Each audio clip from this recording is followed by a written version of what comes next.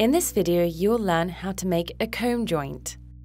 A comb, or finger joint, is made by cutting a complementary series of rectangular slots in two pieces of wood so that they can interlock like the fingers of a pair of hands.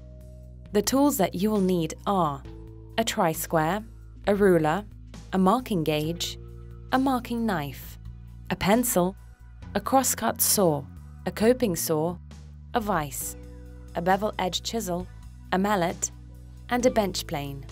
The materials you will need are two workpieces, adhesive, and sawdust. Step 1. Marking the fingers. Start by using a tri-square to check if both pieces of wood are square to ensure an accurate joint. Make any necessary adjustments using a plane. Set a marking gauge to slightly more than the thickness of the workpiece. This will create longer fingers that can be leveled later on. Scribe a line along the edge of the first piece to mark the depth of the socket that will be cut into. Extend the line onto the adjacent side. Highlight the line with a pencil. Now mark the depth line on the second piece. Decide on the number and size of fingers and mark them across the end grain of the first piece. Here we have used a 12 cm edge which will be split into two 3 cm fingers and two 3 cm slots. Measure the distance between each cut with a ruler and pierce the marking knife into each point as you exchange the ruler with a tri-square to cut a straight line. Extend the lines to the front face of the workpiece. Draw a series of stripes to differentiate the wastewood that needs to be cut off.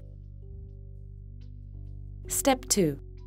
Secure the piece in a vise with the end grain facing up and use a crosscut saw to cut the 3 cm lines down to the shoulder. Remove the bulk of the waste using a coping saw make a J-shaped cut into the adjacent vertical cut.